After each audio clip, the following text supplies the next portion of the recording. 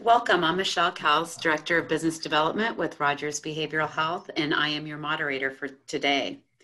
With me are two experts in the assessment and treatment of depression Dr. Rachel Leonard, Clinical Director at Rogers Behavioral Health St. Paul location.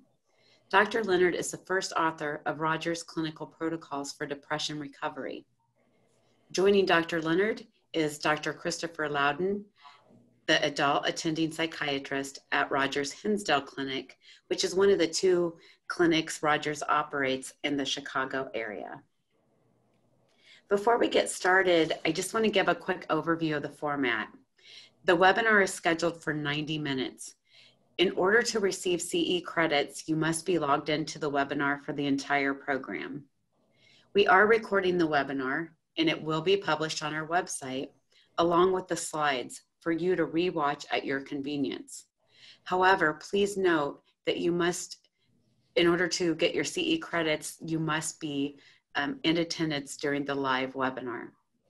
Doctors Leonard and Lowden will give a 75 minute presentation. Following their presentation, I will facilitate the Q&A session. If you want to ask the presenters a question during the presentation, please use the Q&A button to send me a message. At the bottom of your screen, you simply quick, click the Q&A button on that Zoom taskbar, and I will review the questions submitted. Then presenters will um, address them during the Q&A portion of the webinar. Please note that we have nearly a thousand attendees today, and all questions we may not get to all questions, but I will be collecting them all to answer later if they don't get answered during the webinar. Um, now I'll turn it over to our presenters.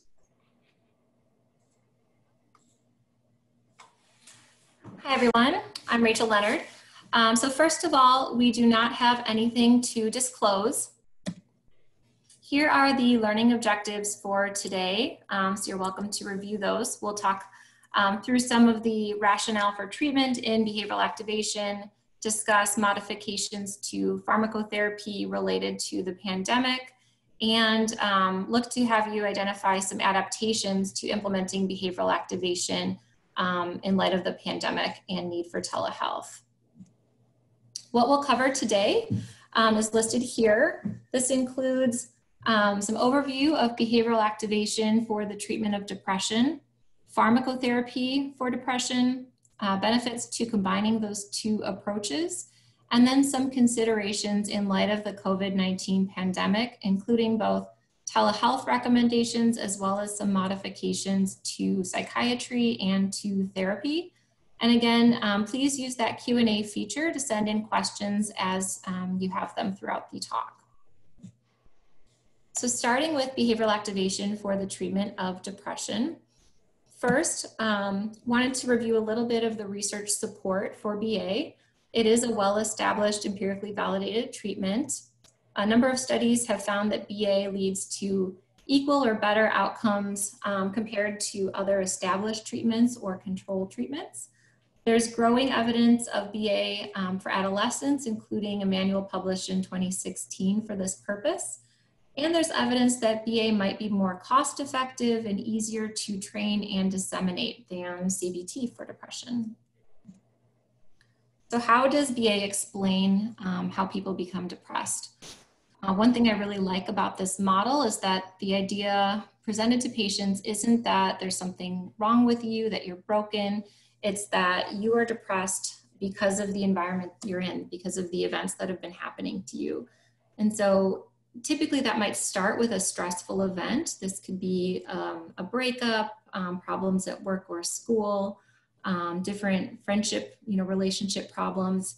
It could be a positive thing like a promotion that leads to a move across the country and then loss of some social support.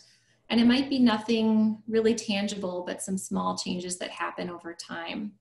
When that happens, um, people can feel a variety of different painful emotions some of which are criteria for depression. And really the important part here is this link between those painful emotions and our behavior, um, which often is avoidance. And um, that avoidance can take different forms for different people. It might be really excessive uh, video game playing. It could be um, sleeping 12 hours a day. It might be calling in sick to school or work, avoiding spending time with um, romantic partners or friends, family. So, um, whatever those avoidance behaviors are, the, that's a perfectly natural response to those painful emotions where we have this tendency to feel more vulnerable and to retreat. Um, so that's that's kind of normal. Um, we want to give our patients that message that this makes sense.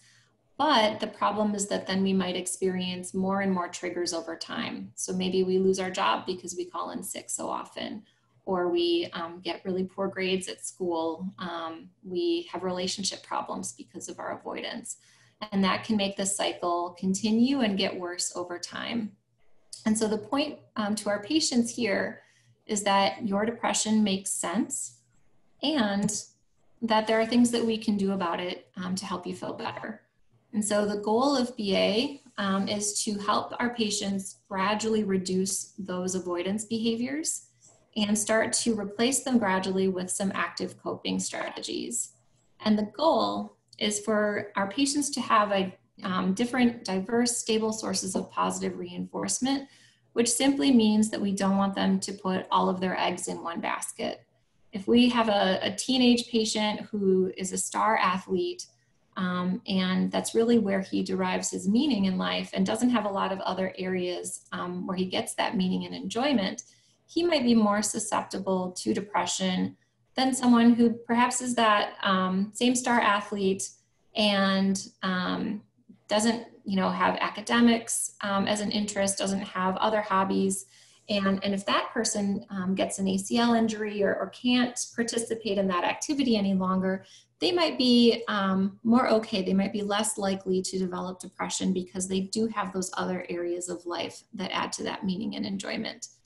So the goal is to come up with a variety of things that help people um, feel that enjoyment that sense of meaning and the um, purported mechanism of action for this treatment then is that increased activation, getting people involved in their lives in different ways gradually over time. These different situations also happen on a smaller kind of everyday basis. So each and every day, our patients, ourselves, we have opportunities where we could choose to avoid um, or we could choose to engage in an active coping strategy. So we want to help our patients see those as actual choices and pause to think about it and make um, an effective decision to actively cope versus just kind of automatically engaging in avoidance, which might be what they're used to um, before starting treatment. The core of treatment is to engage in activity monitoring and activity scheduling. That activity scheduling will include three different categories. We target routine activities and their overall schedule, enjoyable activities to make sure that those aren't um, avoidance at the same time, and then values. And we want to place these along an activity hierarchy, or at least that's what I would recommend. So there are some different um, versions of behavioral activation out there, some of which include an activity hierarchy and some that do not. Um, I really like using the hierarchy because I think it helps give you a really um, specific graduated plan um, that your patient helps develop. And so they might feel more comfortable knowing, like, hey, I'm not going to be rushed to do these things that seem really overwhelming and challenging.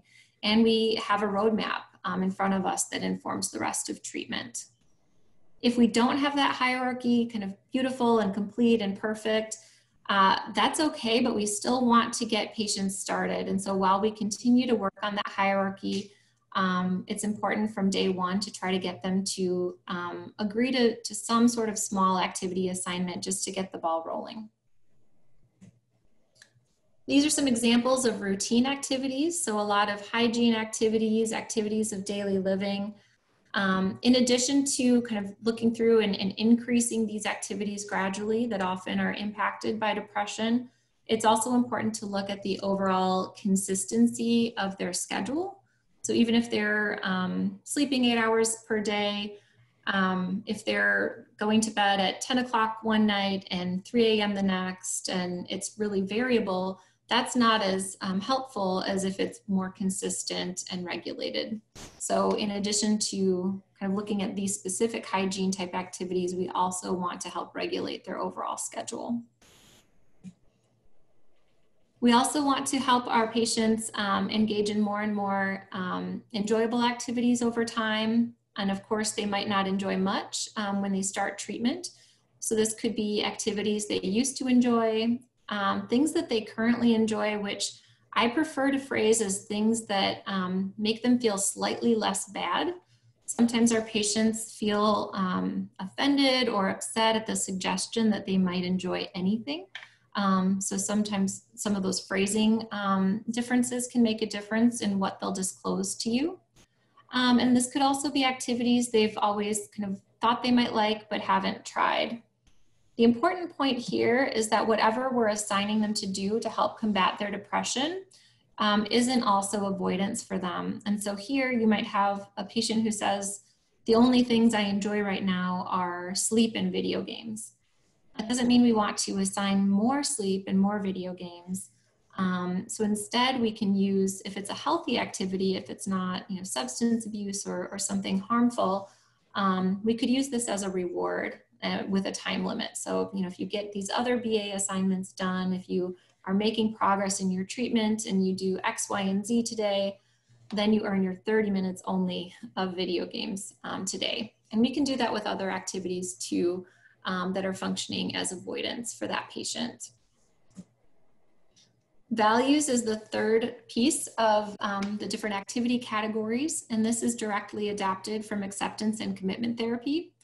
Uh, part of BA, um, it, it's not just about you know doing fun things um, or things that you used to think were fun, but also making sure that your life has meaning. Um, we want our patients to be thoughtful, to reflect upon what adds meaning to their lives for them, um, to help them recognize these things, and then build those into their um, activity hierarchy and help them to gradually increase engagement.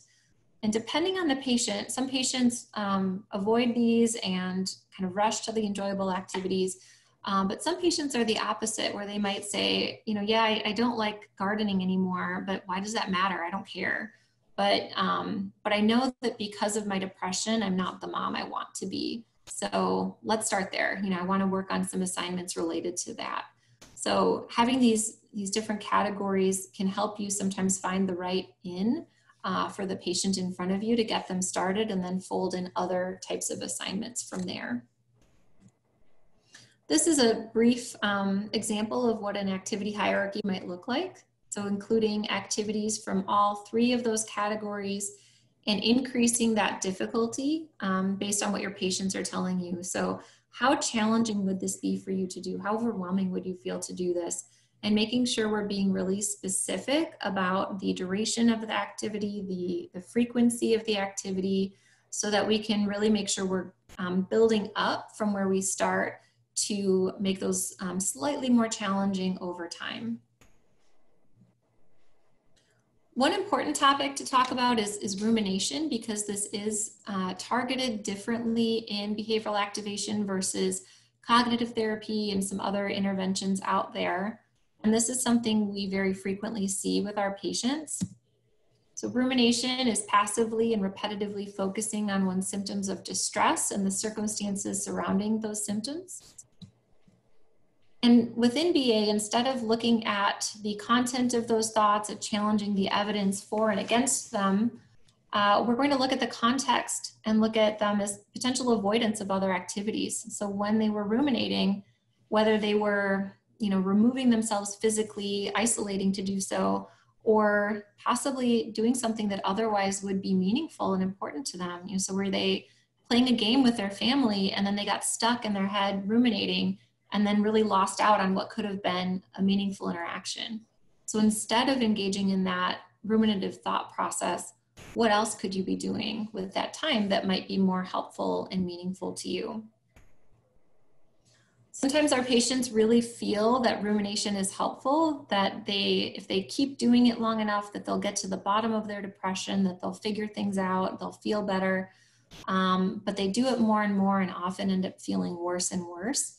So we want to help them reflect on that experience and see what it's like for them. Um, how much time are they spending?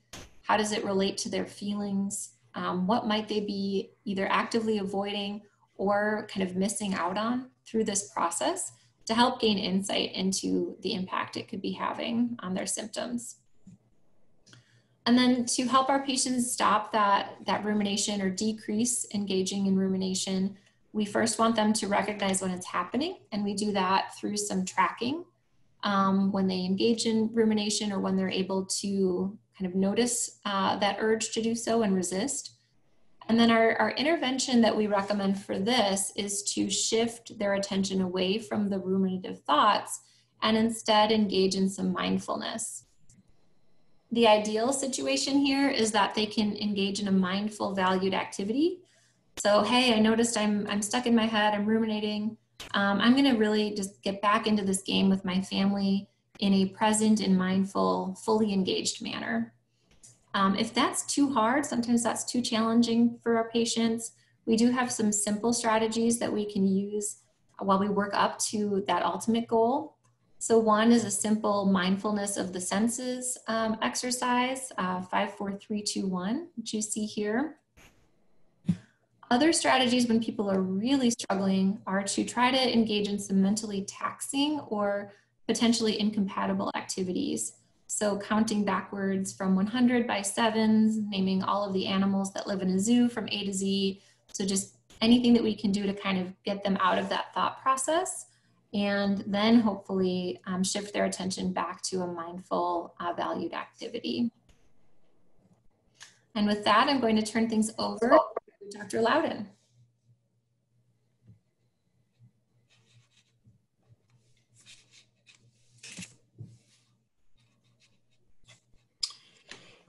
Hello, everyone. Um, my name is Chris Lowden, and I will be going over first um, standard practices in pharmacotherapy for uh, depression. Um, it's it, we thought it better to know sort of the standard practices uh, before talking more about um, COVID, because um, then you can see how these practices might change over time.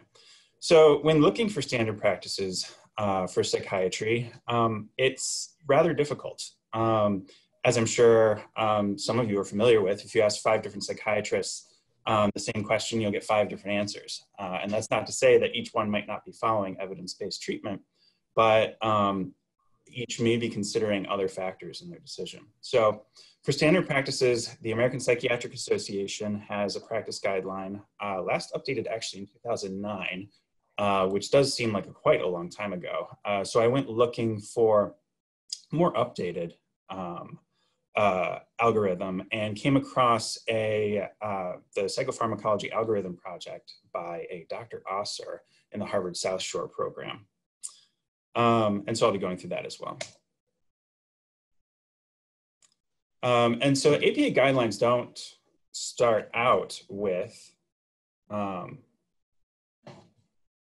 don't start out with um, medications, um, more considering sort of contextual um, considerations. Um, so evaluating address functional impairments and quality of life. Are there certain physical obstacles to patients' treatment for depression? Um, especially something we want to keep in, in mind when talking about BAs and trying to keep patients active. Um, if there are actual hurdles to them being more active, you're going to want to assess that and how you might address it.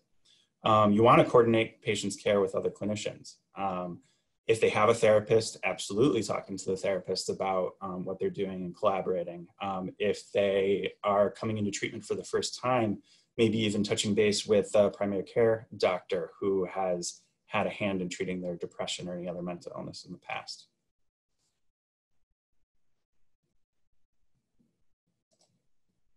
Um, and then you're going to want to think about how are you going to monitor your intervention. Um, certainly, there's um, some uh, many validated tools. Um, I'm most familiar with the quick inventory of depression symptom symptomatology, the um, Beck depression inventory, and the PHQ-9. Um, you also want to think about how you can help the patient adhere to treatment. Are there certain obstacles to them taking their medication? Um, are there certain factors at home that make it difficult for them to attend appointments regularly or take medication? And then also, uh, you want to provide psychoeducation. Um, in my experience, if you tell a patient that, hey, we're going to start you on this medication and uh, start taking it and call me in the morning, they're not, you're not necessarily going to have the best outcome. So um, always taking the time to explain um, what you're doing, why you're doing it, what this medication does, and what you can expect um, will make it much more powerful. And then, based on those factors, uh, choosing an initial treatment. Uh, here's a list of all of the first line medications uh, for depression. Actually, not all of them, because last updated in 2010, it doesn't include some of the more newer antidepressants, but um, there are many options to choose from, from SSRI medications to tri tricyclic antidepressants to MAOI inhibitors, MAOIs. Um, and there's a lot to consider when um, thinking about medications. Um, side effects can be very important. Um, two of the most common reasons that people stop antidepressant medications is because of the side effect of weight gain or sexual dysfunction. Um, weight gain can be very uh, limiting in terms of some some people for their self-esteem, how they they see themselves, how active they're able to be.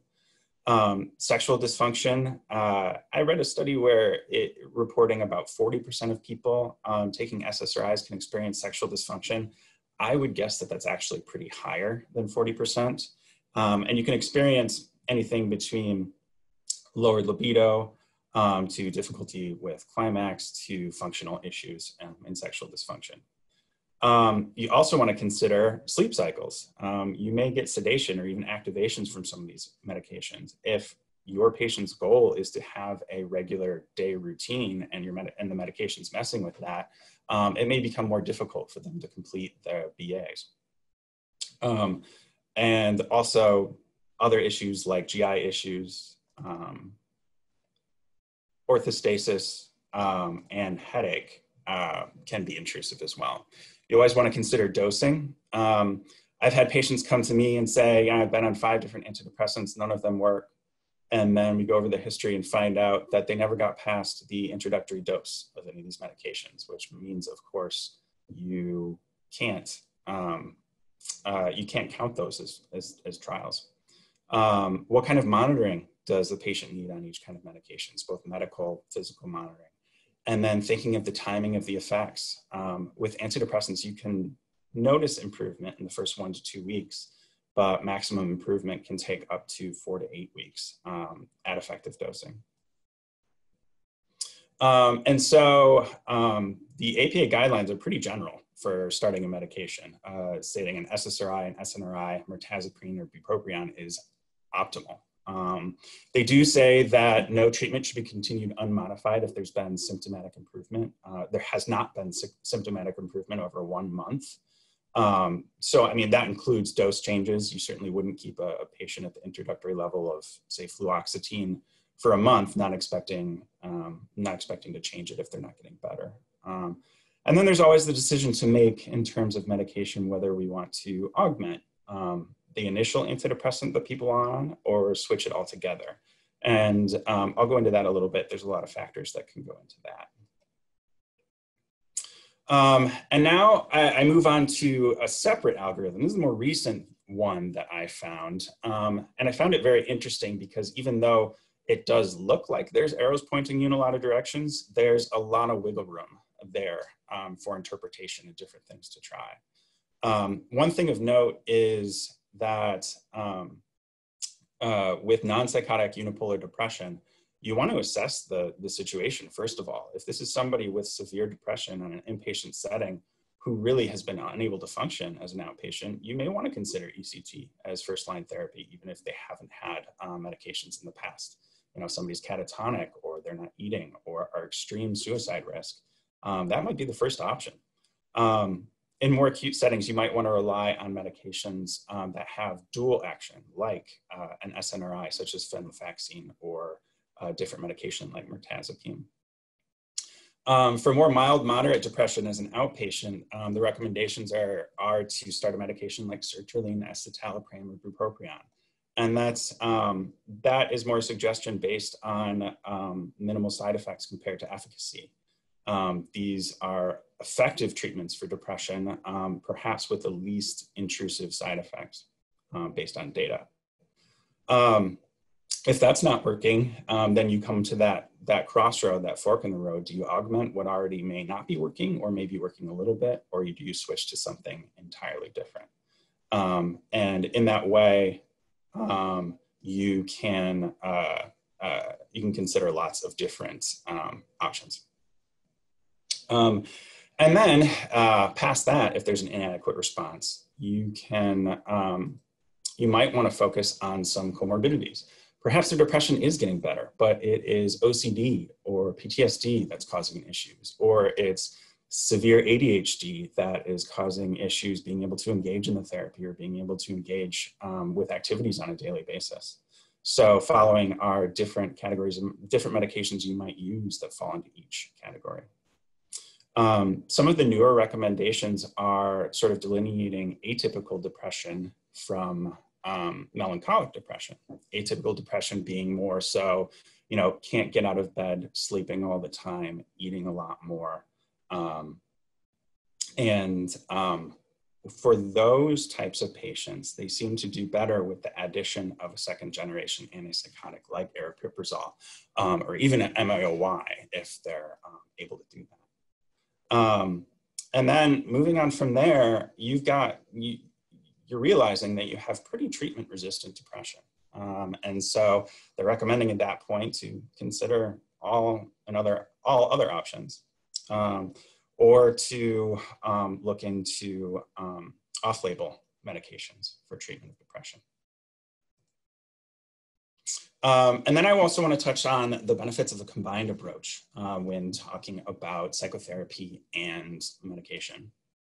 And so actually, when I looked into this, I could find very few, if any, studies comparing medication-only treatment to behavioral activation and medication. Um, there are several meta-analyses um, in literature that compare some form of psychotherapy with psychotherapy and medication, but it's across many different um, schools of psychotherapy.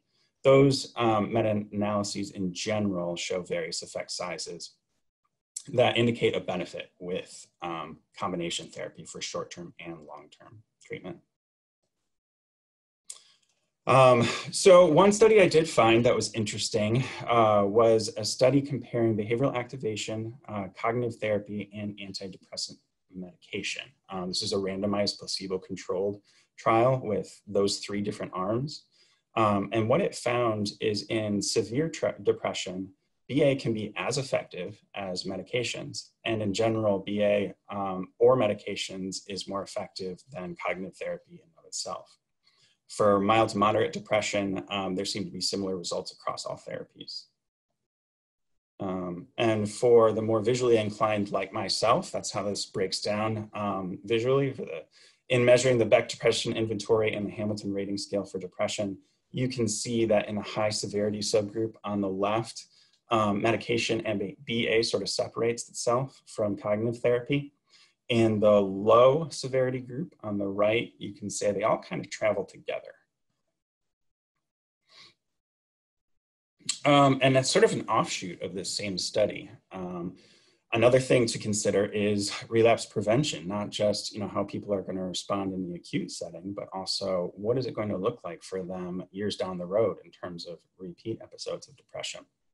Um, so I found um, again, an offshoot of the previous study where they assessed the patients in behavioral activation, cognitive therapy, and antidepressant medication um, over time um, after medication might have been um, discontinued or therapy might have been discontinued. So what they found is that patients treated with just medication and then um, withdrawn onto a placebo had the most significant chance of high, um, of relapse um, in one year follow-up as compared to those who had behavioral activation, cognitive therapy, or continued their medication. Um, and so that's how this breaks down visually. You can kind of see that um, placebo, uh, in the placebo condition, uh, more people are going to relapse um, more quickly and, and sooner. Um, and the medication and the therapy um, lines hold together until you stop the medication. Um, and then the and then people are at much higher risk of um, of relapse of depression. With uh, the BA and CT is and and uh, cognitive therapy arms, you're seeing a continuation of effect or less chance of um, of a repeat episode. And so um, now I'm going to turn it back over to Dr. Leonard uh, for a little while to discuss um, general telehealth recommendations.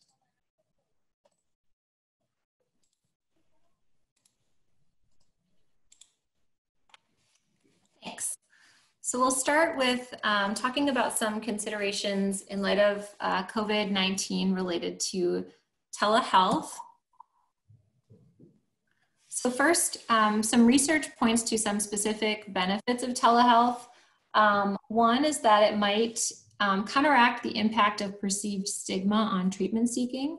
So for some individuals, they might be um, less likely to take time off of work or to physically go into a clinic um, to seek treatment due to um, concerns related to stigma. And telehealth can reduce uh, that impact since they can access treatment from their own home. There are some benefits to cost, um, especially if patients already have all of the technology that they would need. Um, so there's decreased uh, transportation costs and less time away from work um, because they won't have that additional transportation time. There's also an increase in the ability for providers to see patients from a much larger geographical area, um, which um, really points to increased access, which I'll talk about in a little bit as well. And then these reduced barriers to getting to treatment may also increase um, continued engagement and um, reduce the chances of premature treatment dropout. Using telehealth um, has some obvious benefits for access to care, particularly for those in rural communities or um, those who might not have access to high quality evidence-based treatments. Um, through telehealth, they might now have that access.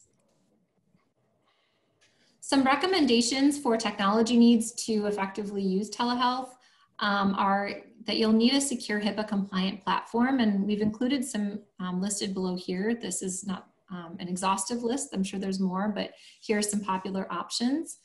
Having an electronic health record certainly makes the process of telehealth much easier. Making sure you're able to send and sign documents, um, especially consent forms electronically using DocuSign or Adobe Pro, for example, um, is very helpful.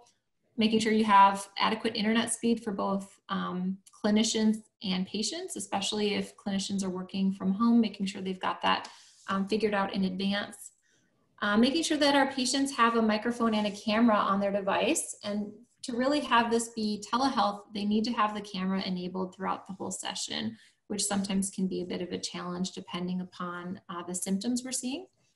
And then, um, as much as we might not consider ourselves to be experts with technology, our patients are going to struggle um, sometimes in using this. And so, it's great if you work for an organization that has a help desk or a different department that can help with that.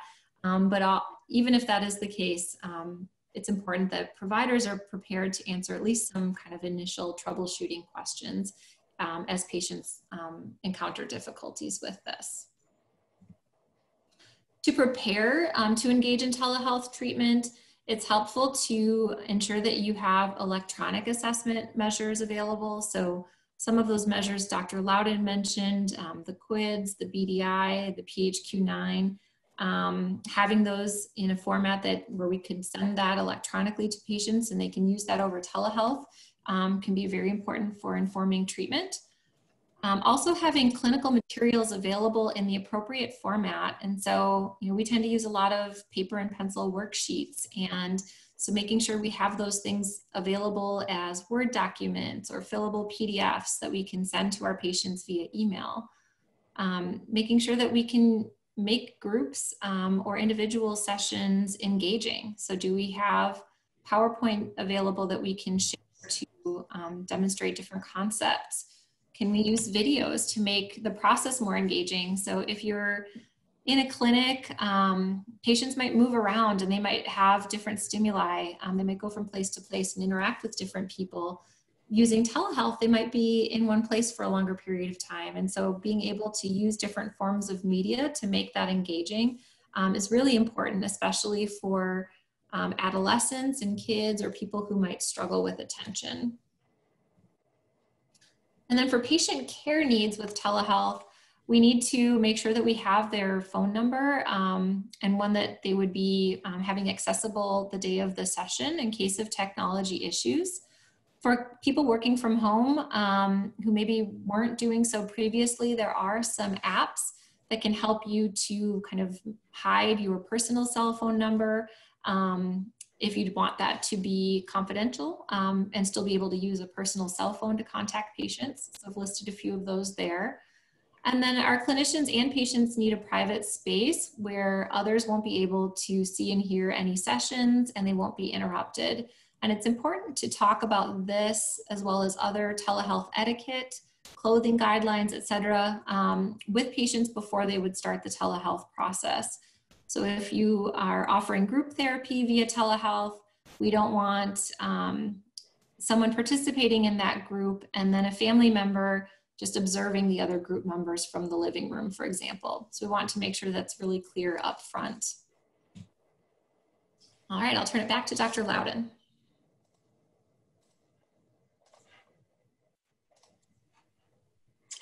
Thank you very much. Um, so I'm going to talk about considerations um, in psychiatry um, for this current um, epidemic that we're in, uh, where a lot of patient contact is um, via telepsychiatry or telemedicine. So um, this wasn't necessarily a surprise to me, but the APA guidelines were not very specific. There's more a list of considerations that you should have going into patient encounters using telehealth. Um, and so I'll go through each of these sort of individually. Uh, so providers should consider such things as patient's cognitive capacity, uh, cooperativeness with treatment professionals, um, past issues with substance use, history of violence, self-injurious behavior, all the typical questions that we do ask about. Um, but the question becomes, how do you assess that in the telehealth environment? Um, you can consider doing cognitive scales, um, the Montreal Cognitive Assessment or the Mini Mental Status Exam, all of both of which do require um, uh, sort of uh, interactive pieces that you would not be able to do by video. So you'd have to document which parts you were able to do um, with each of these tests. Um, you want to consider compliance. Um, are, patients able to take uh, medications without supervision? Um, are they able to show up online for appointments uh, consistently? Substance abuse could be a huge issue. Um, you'll want to know, are they currently using? Um, they're at home, so the obstacles for them using right before um, a session um, or an evaluation eh, are sort of removed. Um, is there a possibility of um, withdrawal from substance use? And how are you going to measure that? Especially with alcohol, benzodiazepine, opiate uh, withdrawal. Violence you want to consider. Um, is the patient a history of a, per, of a perpetrator or victim of domestic violence? Is there self-harm going on? Is there guns at home? Um, or even other things. I had a patient just the other day who I found out um, had a bow and arrow that was available to him uh, that wasn't necessarily uh, screened for by, um, by anyone else beforehand. Um, providers shall consider geographic distance to the nearest emergency medical facility. Um, so if you're talking to a patient and there's acute danger, when you call 911, um, it's not really clear um, how to uh, get in touch with their local authorities. Um, so you'll want to have information readily available in terms of what municipality do they uh, are they are they calling from. Um, do they have a preferred hospital ER? Can you call local authorities? Um, who else lives in the home? are they reliable reporters or helpful when uh, patients are unsafe. Um, you can consider getting the family involved earlier. You'll also uh, want to consider what other meds is the patient taking. Are they stable on those medications? Are there concerns for high blood pressure, diabetes? Um, are they mobile? Can they get to a different level of care if they um, voluntarily uh, would like to? Um, and then this becomes sort of a difficulty as well. The consent process shall include discussion of circumstances around sessions um, and management. So if the patient can no longer be safely managed um, through a telehealth uh, scenario, um, then, then what do you do? Um, so I think each clinician sort of has to ask themselves, what are your limitations with, you know, what are your personal limitations with patients considering their um, unique presentation? Um, and then explaining those limitations to patients. Um, you know, we are we are communicating over telehealth right now, and so there's a degree of separation, um, and um, there may be ways in which um, we figure find out that this may not work, um, and you need to adjust the level of care or the treatment in general. do you trust the patient to go uh, get labs, see their primary care doctor, take PRN medication if needed? Um, providers should consider whether there are any medical aspects of care that would require in-person examination, um, including physical exams. I touched that on, on that a little bit, but do they have access to an outpatient lab? Uh, certainly Quest labs are everywhere, but not necessarily um, uh, available to everyone close by, or um, people wanting to go to during current sort of circumstances. Um, how can you receive previous lab results? You know, patients can no longer come in with a hard copy of these. Uh, you may be contacting other people or patients may be trying to get you to get you this information other ways. Um, does treatment intervention require regular vitals? Um, certainly the patient could go out, buy a blood pressure cuff, um, other things to be able to track these vitals, but do you trust that that's being done properly or the patient's a good reporter of these things? Um, does the patient have a primary care doc? Um, how, um, how close are they? Do they have easy access to this person? Um, certain tests require sort of just being able to see the whole person and um, and sort of do some sort of there's some physical aspects to the to the exam that just can't be done over telehealth um, you know when looking for tardive dyskinesia with long-term use of antipsychotics um, we do the AIMS tests or we look for extrapyramidal symptoms, um, side effects of uh, antipsychotics that can be very physical. Um, and then, you know, reasonable questions to ask is, does the treatment algorithm change when medical monitoring or in-person examination is not possible? Um, generally, SSRIs and SNRIs are um, considered very safe for, um, for prescription, but you can have uh, things like uh, platelets, dysfunction that leads to bruising or low sodium levels, which can have, lead to cognitive changes. Um, for stimulants or bupropion, you might consider blood pressure um, issues, or cardiac history. Lithium may be very difficult to describe or to prescribe because you're wanting to track levels. You're wanting to check on thyroid health, on kidney health, um, uh, getting an EKG is pretty standard for um, lithium as well. Um, lamotrigine, um, about 10% of people can get a benign rash that we don't worry about, but one out of 10,000 people can get a very severe blistering rash. And so are you confident in telling the difference over video um, uh, if that were to happen? Um, and other medications bring up their, um, their own specific uh, difficulties as well and you will want to uh, uh, any psychiatrist will want to document these things. You know perhaps uh, perhaps i believe that uh, lith- starting lithium is a life-saving measure for this person. Um, but i'm concerned about getting levels or um, thyroid health or kidney health. Um, you could explain the risks and benefits to the patient and um, sort of consider whether risks of not necessarily being able to um, monitor these things is um, greater than the potential benefit. Um, and sometimes that's hard to predict. Um, and so I'm going to turn it back now to Dr. Leonard.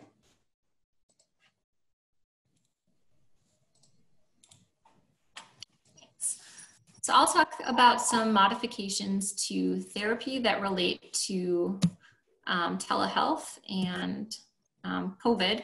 But first, I wanted to mention that there is some research support for the use of BA over a telehealth format. Um, a lot of this has come out of the um, VA system. So the research either demonstrates that there's comparable improvement between um, telehealth and in-person delivery, or um, maybe a slight advantage in some respects to in-person treatment, but still with some robust improvement across the board in both formats. And so we have good reason to believe that, um, that BA as a specific therapy can be used effectively via telehealth. Um, I know Dr. Lowden mentioned some of this, but um, again, with um, therapy considerations, um, we need to be thinking even more about safety. And um, one important piece of that is knowing the patient's location for each and every day that services are provided. And so we tend to get patient addresses at the beginning of treatment, um, but it's really important to review and confirm that so that if there is a safety issue that comes up, we know if you know if we have to call in a health and wellness check or something like that, we know exactly where to send them. Um, and right now, hopefully, our patients are all programming from uh, the same place or accessing treatment from the same place, but we are finding that sometimes they surprise us and they've decided um, to go elsewhere. And so we need to know about that when it occurs. We also always you know, want to have an emergency contact um, on record, but during telehealth, it's especially important um, whenever possible that that person lives with the patient. Um, it's great to have a support available for other reasons, but of course, if there are safety concerns, we want someone who can really go in and check on the patient um, and help give us some information. There is a, an article um, from 2014 that specifically outlined some strategies for managing safety um, over telehealth. Um, I think a lot of these are, are hopefully fairly standard um, regardless of the format of treatment delivery. Uh, but the first one I think is really important. And so at the beginning of treatment, we of course want to assess for suicide risk um, and then use this to determine appropriateness for both you know their current level of care and also for telehealth. I think you know at the time this was written um, we weren't in a pandemic as we are now. And so i think that there's some interesting considerations here um, about access to care you know. So there might not be as many in-person um, options available to people right now. And so, where do we draw that line for who is and isn't appropriate for telehealth? Um, and how do we weigh that against um, other options for treatment, especially if they aren't um, at a level where they would be admitted to an inpatient unit? So, I think there's a lot um, of careful consideration that needs to be given in these cases about um, engagement in telehealth and also if they're not appropriate, how do we make sure they get the care that they need?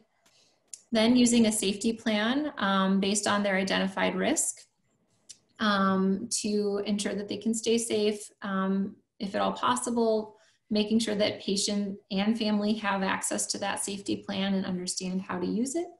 And, um, you know, to whatever extent, making sure we have that support person involved in all conversations about safety and also um, in any sort of means restriction efforts needed um, again, hopefully that's somebody who lives in the home and can be responsible for, you know, securing any items that might pose a risk.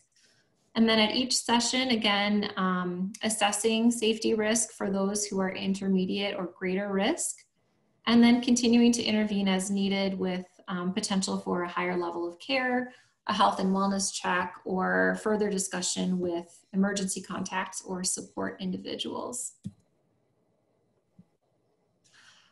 Um, impact of telehealth and some modifications. Um, we are finding we need much more parental or spouse involvement.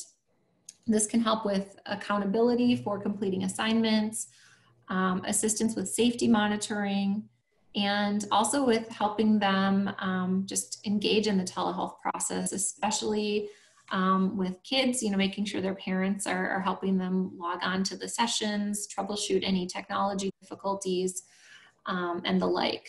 On the flip side of that, especially right now, when many are um, home together, um, a lot of parents might have more availability to observe sessions, and there's some benefit um, from having the potential uh, for increased parental involvement in sessions so they can learn right along with their child about the treatment strategies that we're using.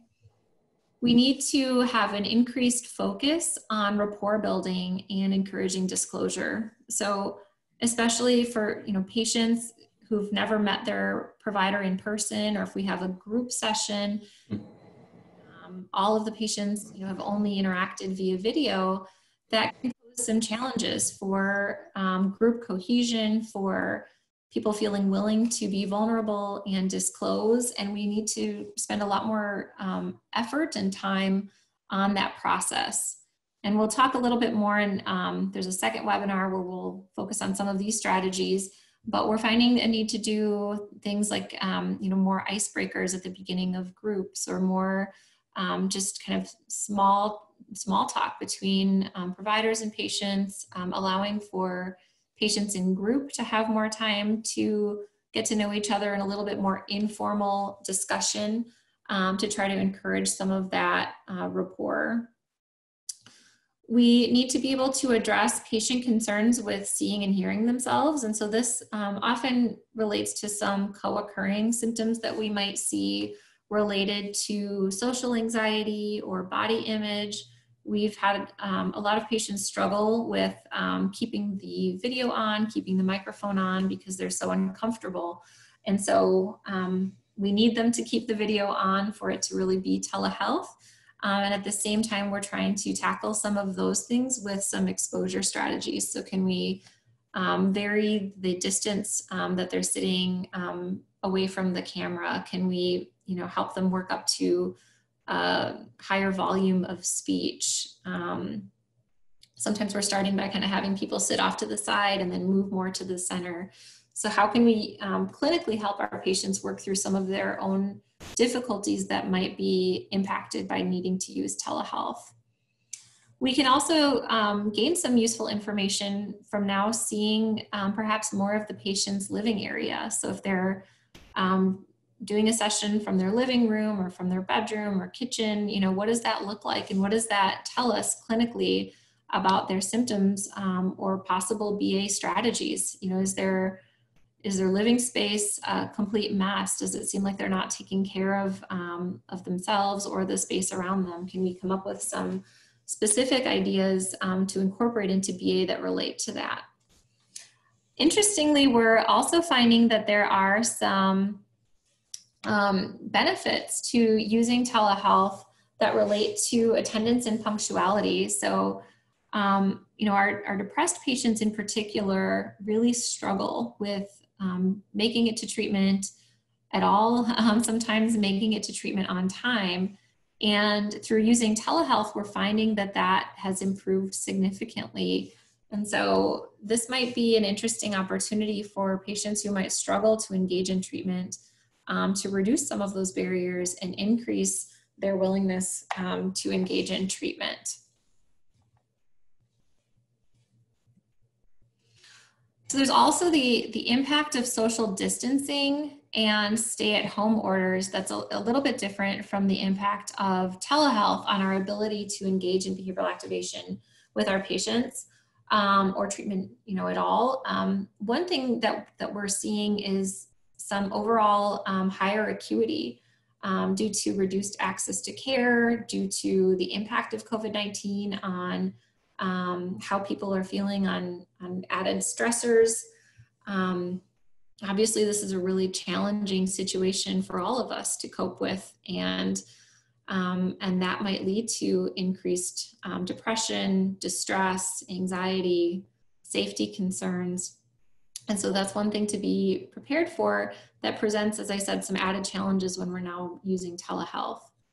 Um, we have to be prepared for our patients to be struggling with um, potentially some, some of these added stressors and to talk about that and fold that into their treatment. So in addition to um, behavioral activation, do we need to incorporate more distress tolerance or anxiety management skills, depending on what our patients are struggling with? You know, many of our patients, um, like many of us, might be juggling multiple responsibilities, might be working from home while homeschooling and, and faced with a number of stressors, might be facing health challenges, um, high stress related to being an essential worker. And so being prepared for that and adjusting treatment strategies as necessary to incorporate that.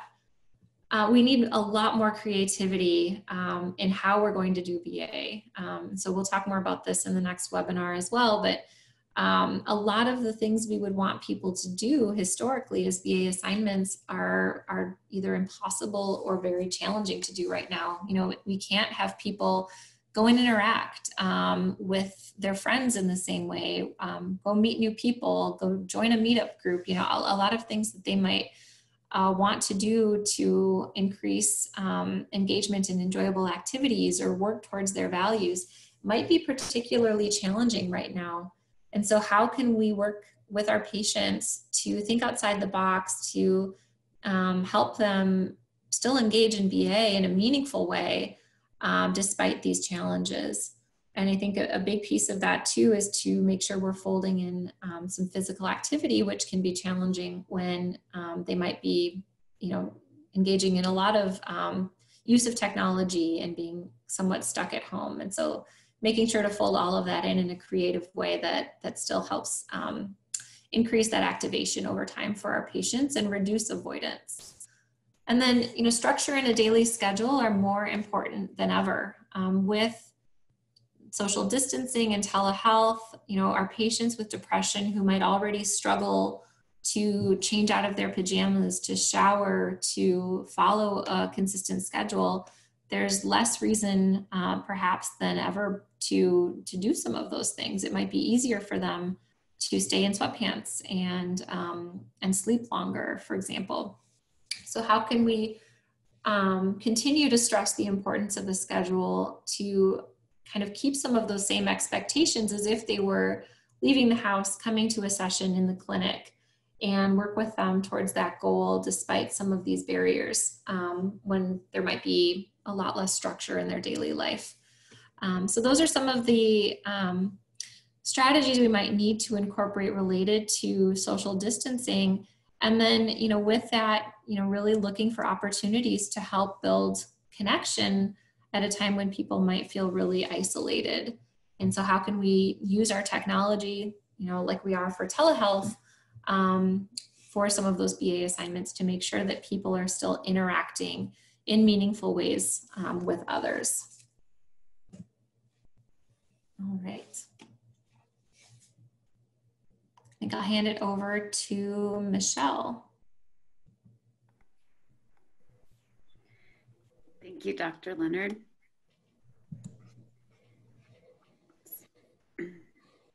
One moment and I'm pulling up the Q&A section.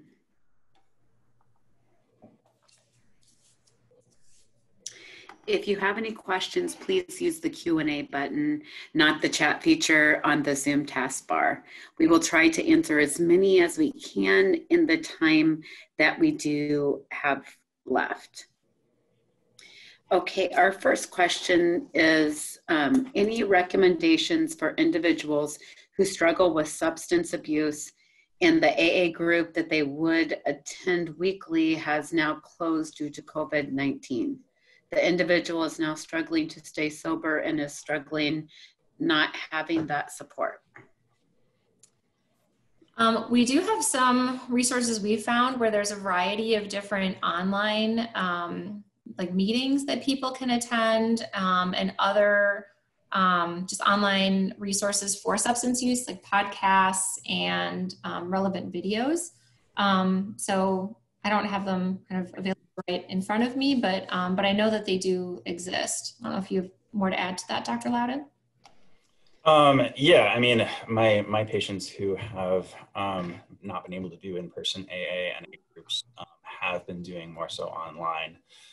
Um, and I know a big part of it is sort of a sense of community and support that they get from not only the people in the meeting, but people that um, you know they're close to. And so have encouraged them to you know reach out to people who they already have the contact information for, already have that sort of relationship to see if they want to come to virtual sessions with them. And so you can kind of bring some of that um, you know AA family with you into those uh, those those um, online uh, meetings, and uh, it uh, yeah, it's certainly not very. It's not the most. It's potentially not the most optimal thing to be doing online, but um, it is definitely an option. Thank you.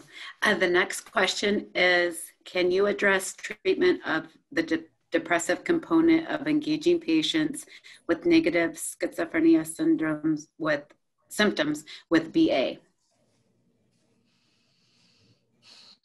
Um, I don't know a lot of the literature on that. I mean, I know there's good support for some CBT strategies um, for psychosis.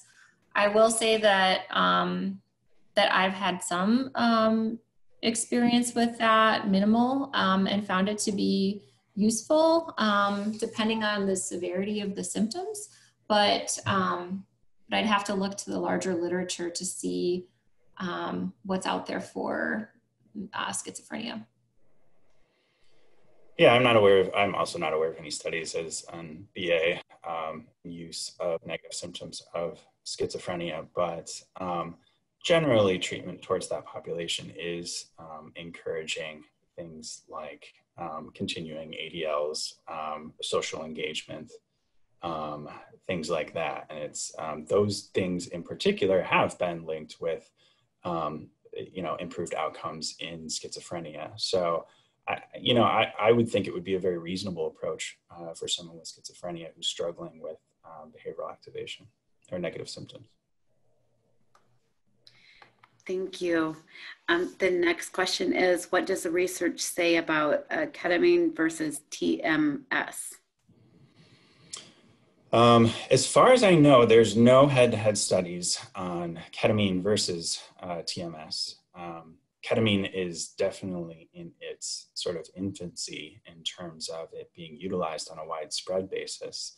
Um, there's still, to this day, doesn't necessarily um, exist any treatment protocols for ketamine. Um, so you may find different clinics doing things differently, um, not necessarily knowing which is more effective, which isn't. Um, some of the outcomes with ketamine studies have been extremely impressive, um, especially for treatment-resistant depression. Um, but it's it's still sort of um, it's still sort of very young. And uh, the FDA did just approve the sort of uh, nasal esketamine for um, as augmentation for uh, depression. But um, there's also a lot of guidelines in terms of monitoring for safety um, so I'd say it's it's very compelling, but not not necessarily ready for prime time yet. Thank you. Um, the next question is, are there any books that you would recommend specifically for clients who want to read more information about depression, um, treatment of depression in general, or BA? Um, there's a, a, bunch of different good books out there on um, BA um, and on depression. Um, I really like uh, Kanter, Busch, and Rusch, um, which is on behavioral activations in behavioral activation in a uh, distinctive features series. Um, there's also a patient workbook that is by Christopher Martell and Michael Addis that I really like. I think it I don't know that I'd have to look up the, the title, but um, that one's really good. And then, um, you know, there's a, several like kind of easily accessible published um, manuals on behavioral activation treatment for depression and um, two different books uh, by Christopher Martell and others on behavioral activation that are quite good as well. Thank you. Um, the next question is, are there any concerns with the patient being on an antidepressant, for example, fluoxetine for long-term um, over 10 years? So as far as we know, there's not necessarily any um, contraindications to long-term use of SSRIs, um, medication that's been around for quite some time, um, there's been plenty of evidence to show that discontinuing an SSRI um, prematurely can lead to um, negative outcomes. And if somebody's been stabilized on it, discontinuing it um, puts them at higher risk for um, for a depressive episode. Uh, that can be mitigated somewhat by you know circumstances in the patient's life, social circumstances, as well as whether, like I like I had said before, whether or not they're they're doing therapy. um, at the same time. And so, you know, I say all that, but not not at the same time to say that once you start a medication, you're you're you're tied to it for the rest of your life, because um, that's a question that I often get: is how long will I have to take this medication? You know, we're always looking for opportunities to limit medication or decrease medication or uh, discontinue it um, if it's necessary. Um, uh, but um, you know, the the patient just has to have knowledge that there's risks and benefits if there will be uh, discontinuation or that the, if their preference is to not be on medication over the long term, um, I'd want to tell them that, well, you're going to be more successful if you do engage in some sort of um, therapy along with, um, uh, before you, you stop the medication or along with the medication. Um, so there's a, there's a lot to consider. Um, so, and just kind of sum up that long-winded response, um, there's no known sort of uh, negative effects of being on it long term. However, um, coming off of it early can also can can have its negative consequences for sure. Thank you.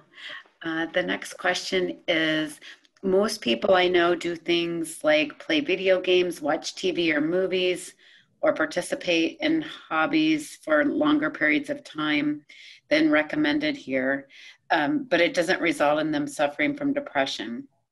For example, many of us have binge watched Netflix or spent um, several days or, or spent days lounging in our pajamas. Where do you draw the line between uh, when something like that is considered avoidance and or problematic?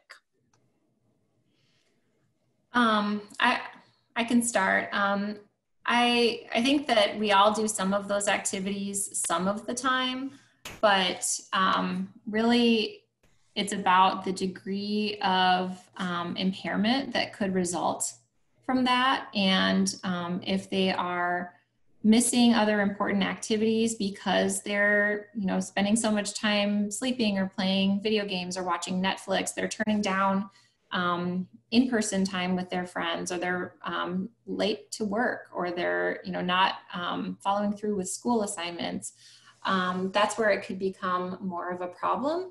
And really if they're not necessarily doing it because it's something that they enjoy but in response to those painful emotions they're engaging in those activities as their kind of go-to thing and also not doing anything else that they might um, maybe should be doing at that time or um, would have previously done when not depressed, that's more of a sign that that's a problematic uh, behavior.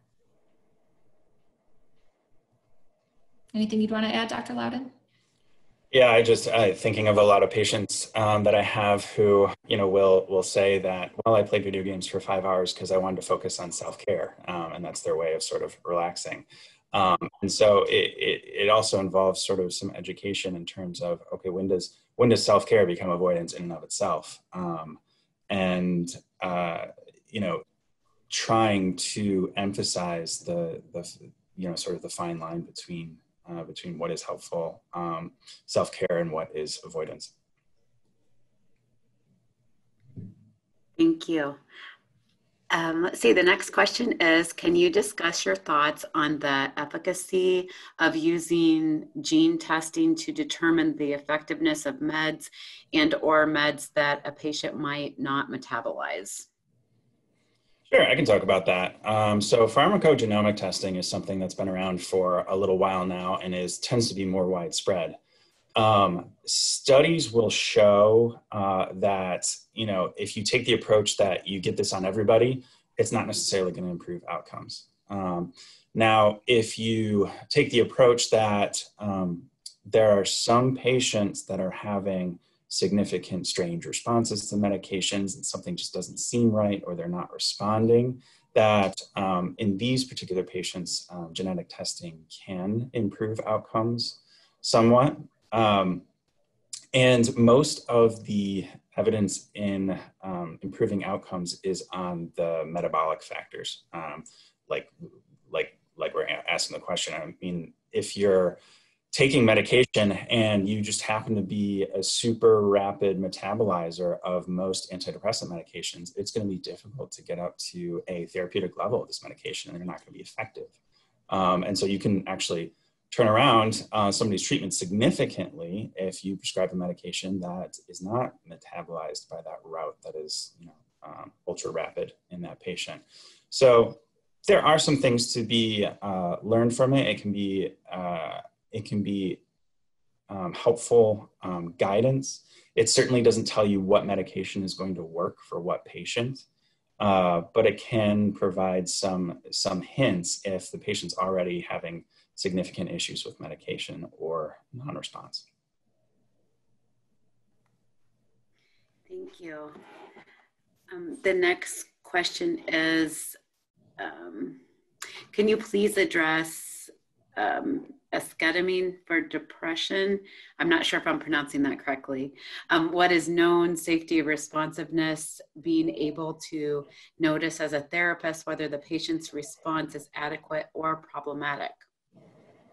Yeah, so I mean, going back to my last, it, sounds like that's similar to the question um, previously about um, ketamine um, and treatment of depression. I would just highlight that again, that you know, it is something that is sort of in its um, is young in treatment of uh, depression um, and in psychiatry itself. It does require higher level of monitoring for negative side effects. Um, it, it should it is typically um, it should be administered under you know watchful guidance of a clinician um, and there's no sort of general protocols that are accepted by the field of psychiatry in terms of um, how those ketamine um, how the ketamine infusions are done i mean sometimes effects can last a few days to a few weeks um, and then uh, symptoms start to come back. And so there's no good answers in terms of, well, how do you continue treatment? What does that look like? When do you consider stopping? Um, what are some significant contraindications? Um, and so um, it's, you know, some of the evidence coming out of the studies on ketamine are really compelling, um, but there's, there's still a lot of questions that have yet to be answered about um, its widespread use. Thank you the next question is there may be some things that would be really important for overcoming avoidance, but they aren't the things that the client has a lot of control over. For example, with social interactions, we can't control what the per what the person, the client, is interacting with what they will do or say. How do you put situational events such as that in a hierarchy hierarchy format? Um, you know, we would look to assign different types of interactions and part of that um, challenge then is um, you know you can't control how other people will respond and you don't always know. So you don't want to set your patient up for failure if you don't think they have the skills to navigate that situation. And so if we had a an assignment for someone to start a conversation with someone new and we knew that they had really poor social skills um, i would first want to um, do some social skills training with that patient to help them gain the skills to be effective with that ba assignment. Um, and sometimes you can kind of build that in as kind of little mini ba steps that get added to the hierarchy um, so we will sometimes do like practice, you know, role plays and um, and build up to kind of longer, spontaneous conversations. Um, you know, similarly, might have assignments that would be more um, like non-social skills based, and so we'd want to help train our patients to skills for that. So you know, like how to build a resume if they don't know how to use Microsoft Word effectively, they're not going to be able to do that BA assignment effectively either. And so helping them kind of practice those skills and gain them through the course of BA and then making those more spontaneous um, situations or more challenging tasks kind of higher up on the hierarchy um, can be helpful. Thank you. And building on that, um, it was requested um, one or two more examples of behavioral activity hierarchies. Um, a whole hierarchy uh, might be tough to, to talk through, but um, there are, you know, a variety of different examples I can give. And then um, that is kind of more of the focus of our, our next webinar as well. But um, it, it really depends. And so within the different categories, um, for routine activities, we might have um, patients just increase the frequency of showering or brushing teeth or um, putting on clean clothes um, each day, things like that, uh, tidying their living space, keeping up with their mail. Um, enjoyable activities often relate to different hobbies, um, possibly different kind of um, games they might play with other people, interactions. And so there are, if they're living with someone right now, there's opportunities for um, some of that potentially. Um, and, and then with values, it might be um, related to achievement related goals. So it could be, I will, um, I'm going to read a book about leadership for 10 minutes per day, or I'm going to work on my college application essay for 20 minutes three times this week. Um, or they could be more interpersonal. Um, you know, I'm going to call my mom uh, three times this week to see how she's doing with social distancing. Or I'm going to make sure to spend 15 minutes each day playing with my kids um, before dinner to work on my relationship with them. So um, it depends on, on the patient in front of you and kind of what their specific identified values are and um, the activities they enjoy are. And then we'd want to kind of build off of that. Anything you'd want to add to that, Dr. Lowden? No, I don't think so. I think that was very.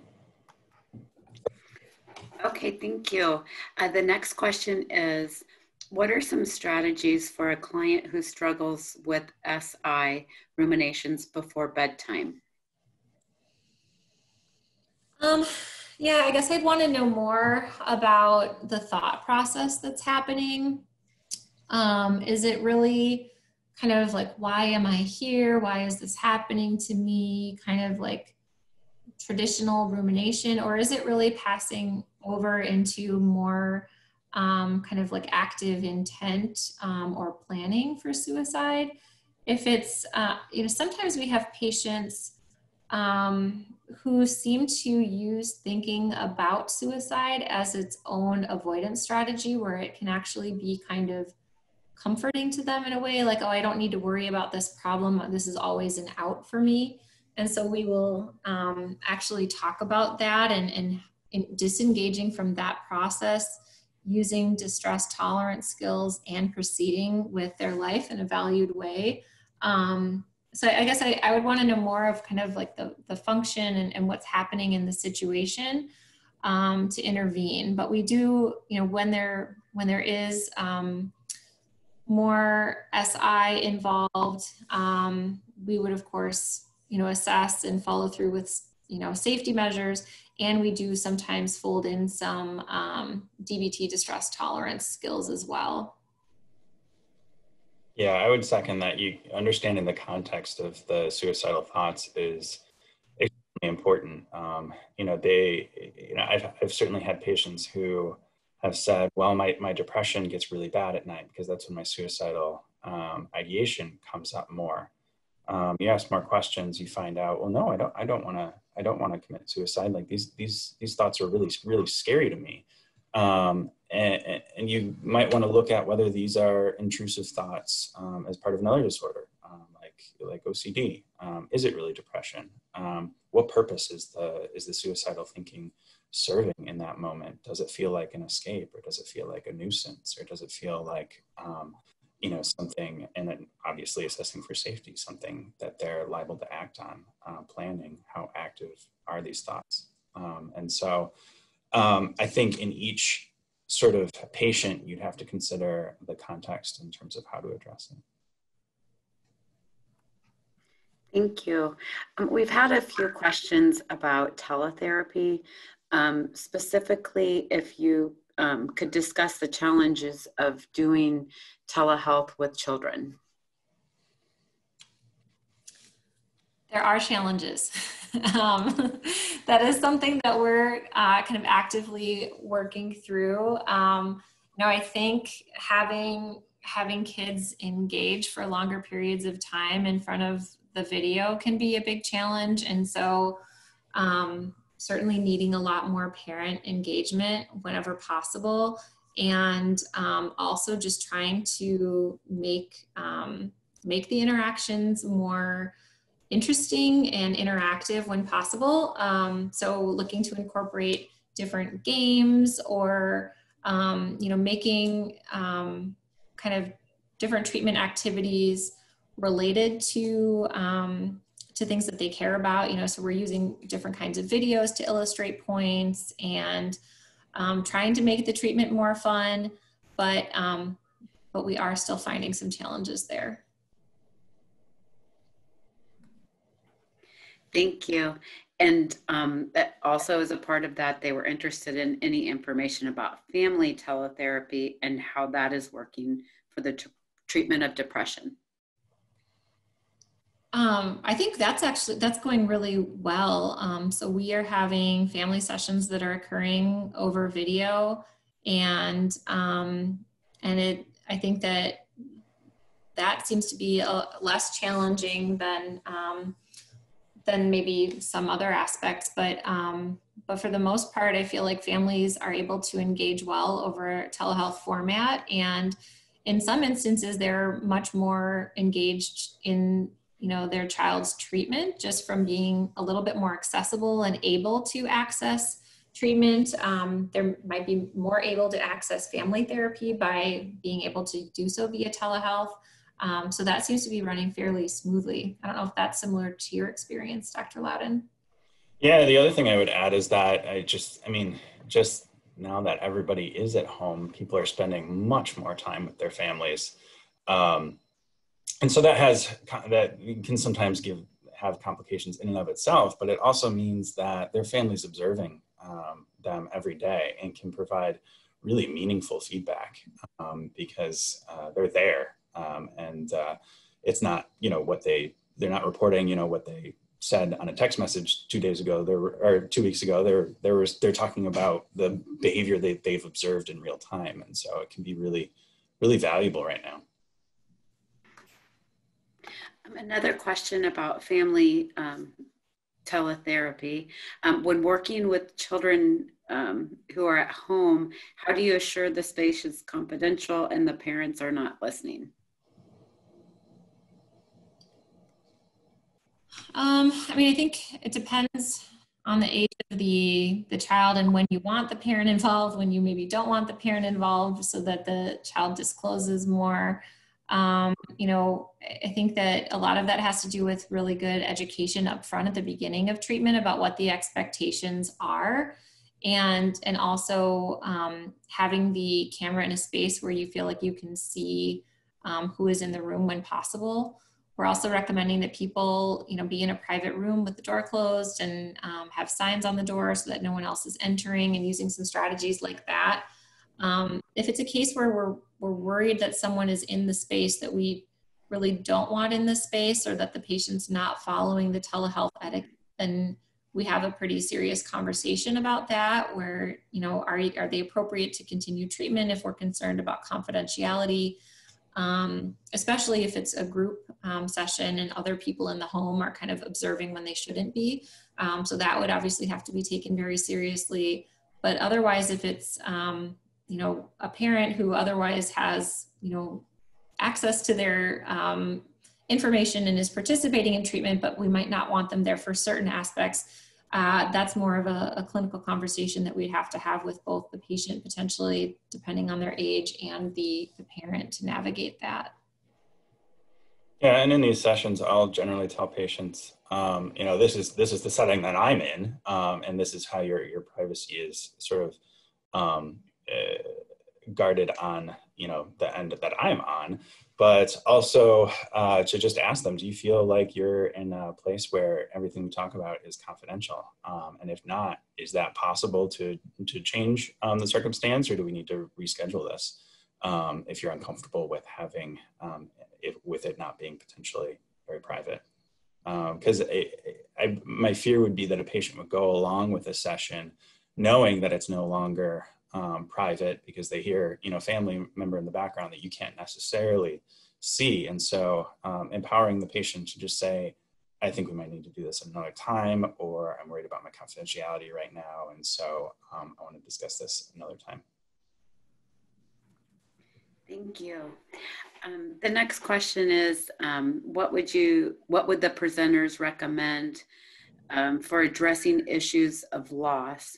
For example, job loss, cancellation of events like graduation, weddings, sport, uh, sporting seasons due to COVID-19 for depressed clients from a, a BA perspective?